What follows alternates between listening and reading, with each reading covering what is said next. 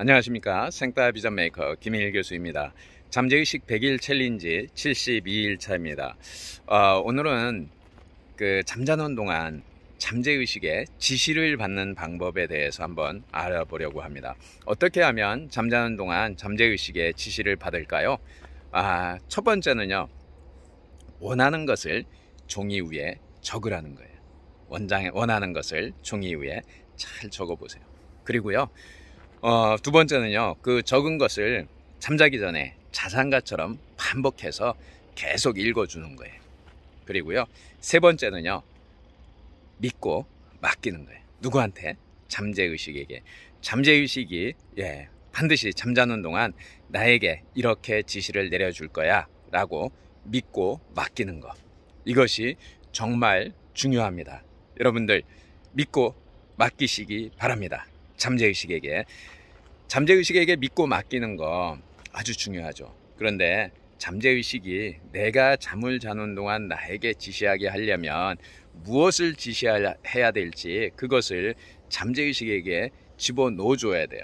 그 집어넣어 주려면 어떻게 해야 돼요? 그것을 내가 원하는 것을 종이 위에 상세하게 적어야죠. 근데 너무 많이 적지 마시라고 해요. 어떤 때는 한 단어만 해도 된다고 이야기를 합니다. 그래도 그래 놓고 잠재의식에 잠재의식이 반응을 하게끔 결국 지난번에 이야기했잖아요. 답이라고 이야기를 했는데 그 답을 주잖아요. 근데 중요한 거는 내가 잠자기 전에 잠재의식에게 원하는 것을 이야기를 해줘야 돼요. 그러려면 어떻게 해요? 원하는 것을 적어야 돼요. 적어놔야 되죠. 깔끔하게 한 줄로 적으면 더 좋겠죠. 임팩트 있게 전달이 되겠죠. 중원부원 막 여러 가지를 이야기하는 것보다 내가 이번에 이루고자 하는 거 그것을 한번 적어서 어, 종료에 적고 잠자기 전에 계속 되뇌하는 거예요. 저도 계속 반복적으로 연습을 해보고 있습니다.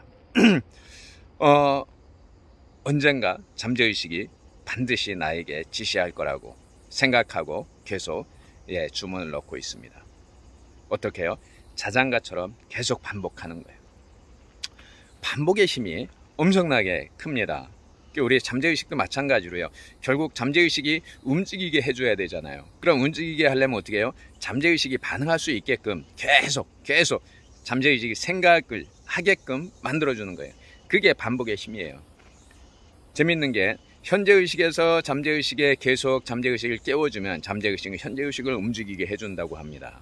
그래서 잠자는 동안 잠재의식이 나에게 현재의식의 지식을, 지시를 내리게 하는 방법은 그렇게 하는 거예요. 계속 자전거처럼 반복하는 거예요. 그리고 마지막 세 번째는요, 믿고 맡겨야 돼요. 무슨 일이든 믿고 맡기지 않으면 일이 일어나지 않습니다. 그렇죠. 신뢰하는 거예요. 신뢰하는 거.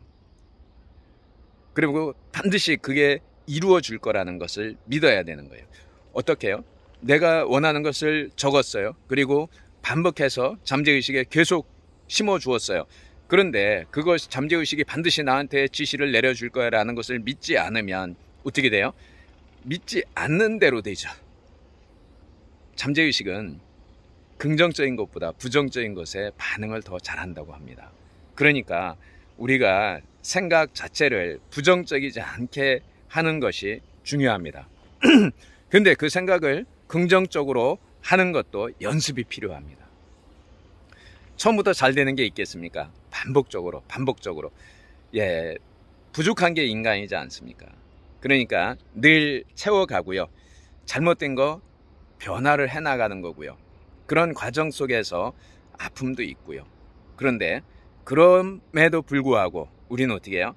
반드시 이루어질 거라는 반드시 우리의 미래가 우리 앞에 다가올 거라는 내가 원하는 것이 이루어질 거라는 그런 믿음을 가지고 여러분들 구해야 돼요. 그러면 그 잠재의식은 우리의 그 구하는 것을 우리 현재의식에 지시를 하고 이루어 주게 되어 있습니다. 여러분들 잠재의식이 잠자는 동안에도 우리에게 지시를 내리게 하는 방법은 내가 원하는 것, 지시 내려야 될 품목을 정해야 되잖아요. 그래서 그걸 정해서 두 번째 반복적으로 자장가처럼 되뇌이고요. 그리고 세 번째 믿고 맡기는 거예요. 그렇게 되면 여러분들이 원하는 거 잠재의식을 통해서 이루어 가실 수 있습니다. 오늘도 생따 비전 메이커 김일 교수와 김일 교수가 여러분들과 함께 잠재의식에 대해서 나누어 봤습니다. 오늘 아, 태풍이 온다고 합니다. 여러분들 안전 조심하시고요. 건강 조심하시고요. 아, 8월 마지막 주 힘차게 시작하시기 바랍니다. 에, 이제 여태까지 8월에 계획했던 거 부족한 것들 점검해 보시고요. 한 주 동안 열과 성을 다해서 몰입해서 예, 남은 기간 동안 이루어 가시기 바랍니다. 여러분 화이팅 하시기 바랍니다. 감사합니다.